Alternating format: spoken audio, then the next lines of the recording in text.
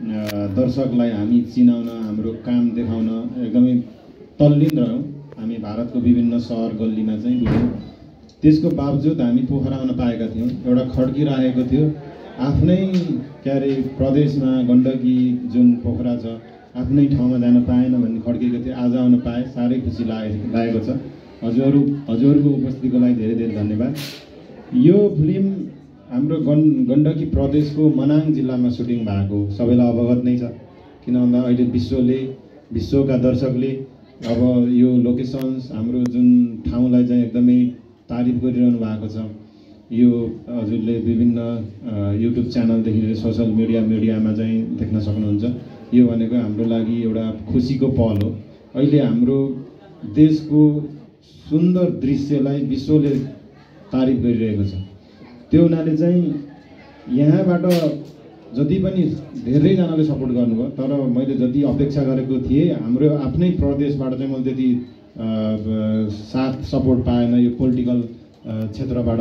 किन भन्दाखेरि चाहिँ हामीले यहाँको दृश्यलाई एउटा पर्यटकको पर्यटन प्रवर्धनको लागि चाहिँ ठुलो भूमिका खेल्छ जस्तो लाग्छ मलाई सिनेमाको माध्यमबाट जुन चाहिँ हामीले विश्वभरि सबै फिल्मलाई गर्नुपर्छ भन्नु छैन। तर प्रेम गीत थ्रीलाई किन गर्नु पर्यो? किनभने यो ग्लोबल्ली पहिलोचोटि रिलिज हुँदैछ। विश्वका अहिलेसम्म नेपाली चलचित्र रिलिज नहुने ठाउँ जहाँ चाहिँ हलिउड बलिउडका फिल्म देख्न पाइन्थ्यो त्यस्तो थिएटरमा हाम्रो प्रेम गीत लागेको छ। त्यो हुनाले चाहिँ अब अझै पनि केही पनि एकदमै बिग्रेको छैन। अहिले सबै लागेर हाम्रो जुन फिल्म छ हाम्रो क्षेत्रमा बनेको फिल्म छ प्रेम गीत थ्रीलाई सपोर्ट गरौँ। हामीले चाहिँ धेरै त्यो चिसोमा हामीले काम गर्न एकदमै गाह्रो भएको थियो। त्यति बेला माइनस ट्वेन्टी ट्वेन्टी सेभेन डिग्रीमा हाम्रो डेढ सयजनाको युनिटले मनाङमा सुट गरे हो अहिले चाहिँ बिना भ्याफेक्सको यस्तो लोकेसन भनेर जुन तरिकाको तारिफ आएको छ पक्कै पनि हाम्रो टिमले एकदमै त्यो मिहिनेत गरेर त्यो चिसो त्यो कठाङ्ग्रिएको जाडो खपेर चाहिँ काम गर्नुभएको थियो। त्यो हुनाले टेक्निकल्ली पनि एउटा हलिउड बलिउड जस्तो फिल्म बन्छ हाम्रो बनेको छ जस्तो लाग्छ। खालि हामी चाहिँ कथा स्क्रिन प्लेको कुरा गर्छौँ तर त्यो टेक्निकल पाटोको कुरा गर्दैनौँ। किनभने कथा भनेको कहिले पनि नयाँ हुँदैन। त्यसको प्रस्तुति हेर्नुपर्छ हामीले त्यसको टेक्निकल पक्ष हेर्नुपर्छ। अहिले दर्शकले चारचोटि पाँचचोटि हेरेको हामीले चाहिँ जुन यो मफसल भिजिटमा हामीले चाहिँ पाएका छौँ। धेरैभन्दा धेरै दर्शकले चाहिँ दुईदेखि तिनचोटि चारचोटि फिल्म हेरे भन्नुभएको छ। केही व्यक्तित्वले चाहिँ यो फिल्मलाई चाहिँ असफल बनाउनलाई ठुलो भूमिका खेल्दै हुनुहुन्छ। त्यसको लागि चाहिँ हाम्रो सम्पूर्ण दर्शकहरूको मायाले चाहिँ जितेको छ। आजको दिनसम्म पनि हाउसफुलको व्यापार गरिरहेको छ। त्यो हुनाले चाहिँ हामीलाई माथिल्लो तहदेखि तल्लो तहबाट चाहिँ हामीलाई चाहिँ हाम्रो स्पिड ब्रेक गर्न के अरे एकदमै पहल गरियो। त्यसको बावजुद पनि दर्शकको साथ र मायाले गर्दाखेरि आज चौथो दिनमा पनि हाउसफुलको व्यापार गरेर दर्शकको माया पाउन सफल भएका छौँ। अहिले दुइटै भाषामा अल नेपाल अल नेपाल भन्दा पनि संसारभरि अहिलेसम्म अस्ट्रेलिया अमेरिका यो गल्फ कन्ट्री सबै चालिसवटा कन्ट्रीमा चाहिँ एट्टी पर्सेन्टभन्दा बढीको बिजनेस गरिरहेको छ। यो भनेको हाम्रो देशको लागि हाम्रो सिने सिनेमा जगतको लागि एकदमै राम्रो पक्ष हो।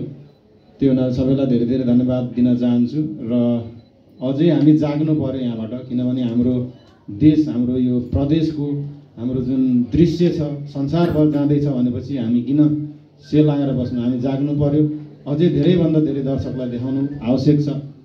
यति भन्दै मेरो दुई शब्द सघाउन चाहन्छु धन्यवाद।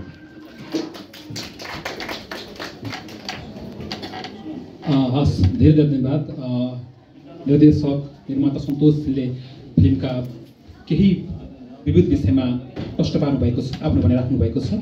यस्तै गरी फिल्ममै आधारित रहेर यो चलचित्रमा आधारित रहेर आफ्नो भनाइ राखिदिनु हुनको लागि म पहिला नायक प्रदीप खड्कालाई अनुरोध गर्दछु। त्यसपछि हामी नायिका क्रिस्टिना गुरुङको फेरि भनाइ सुन्नेछौँ।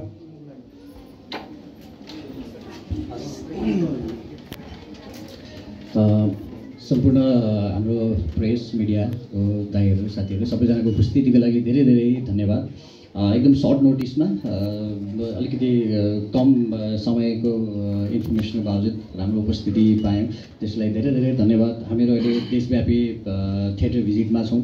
आज हामी अहिले पोखराको थिएटरहरू भिजिट गर्दैछौँ। अडियन्ससँग फर्स्ट ह्यान्ड इन्फर्मेसन सेयर गरौँ खुसियाली साटौँ। धन्यवाद। पर्सनली भेटेर धन्यवाद व्यक्त गरौँ भन्ने हिसाबले हामी हिँडिरहेको छौँ। त्यही क्रममा हामीले अरू ठाउँमा प्रेस मिट गरेनौँ तर पोखरामा चाहिँ एउटा प्रेस मिट गरेर केही चिजहरू अहिले यो विगत चार पाँच दिनको डेभलपमेन्टलाई केही चिज एड्रेस पनि गरौँ। र आफ्नै ठाउँ भएको हिसाबले सुटिङ गरेको लोकेसन भएको हिसाबले यो ठाउँबाट चाहिँ अझै बढी इम्प्याक्टफुल मेसेजहरू पठाउन सकिन्छ। हामीले भन्न खोजेको कुराहरू चाहिँ यहाँबाट जाँदाखेरि राम्रो हुन्छ होला जस्तो लागेर पनि हो। धेरै कुराहरू दाइले पनि भनिहाल्नु भयो आलोचनासँग डराएको होइन।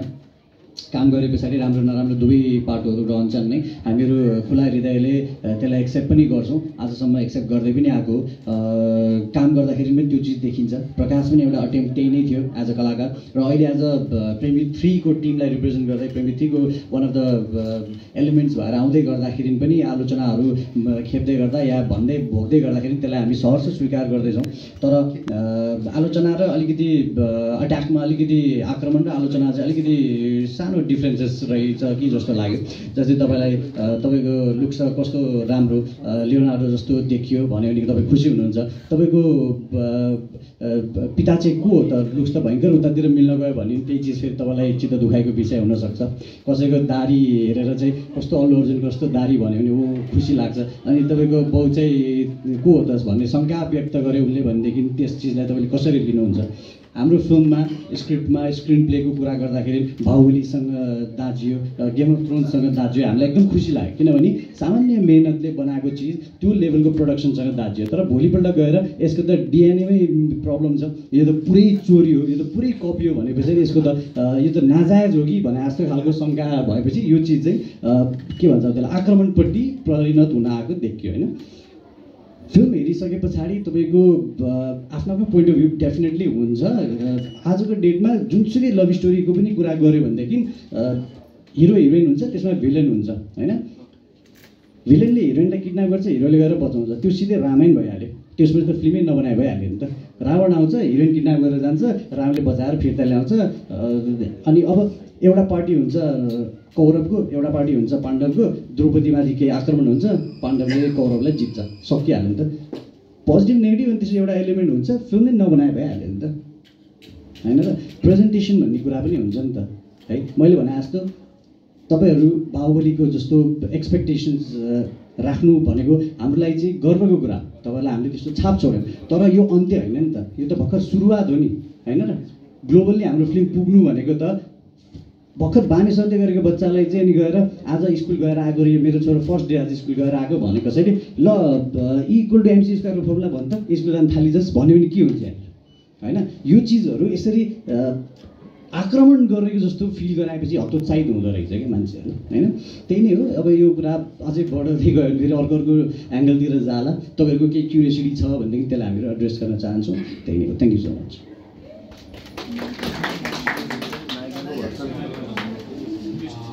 हस् धेरै धेरै धन्यवाद प्रदीपजी त्यसै गरी अब यही फिल्ममा आधारित रहेर नवनायिका हुनुहुन्छ। उहाँको अभिनय धेरैले मन पराउनु भएको छ। धेरै सकारात्मक कुराहरू आइरहेको छ। आफ्नो भनाइ राखिदिनु हुनको लागि म नायिका क्रिस्टिना गुरुङज्यूलाई हार्दिक अनुरोध गर्दछु। नमस्कार सबैमा। आज हजुरहरूको यहाँ उपस्थिति जनाइदिनु भएकोमा धेरै धेरै धन्यवाद। पोखरा पोखरा चाहिँ मेरो लागि एकदमै मेरो मनमा बसेको ठाउँ हो।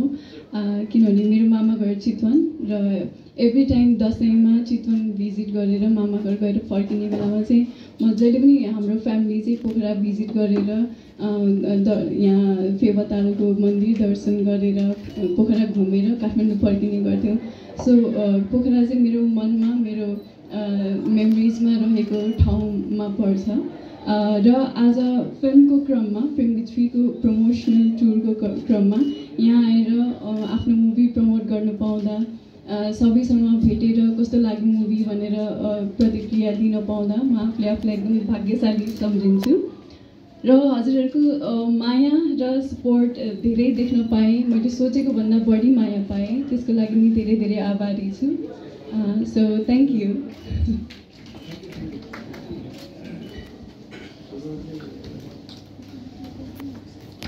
अ, हस् धेरै धेरै धन्यवाद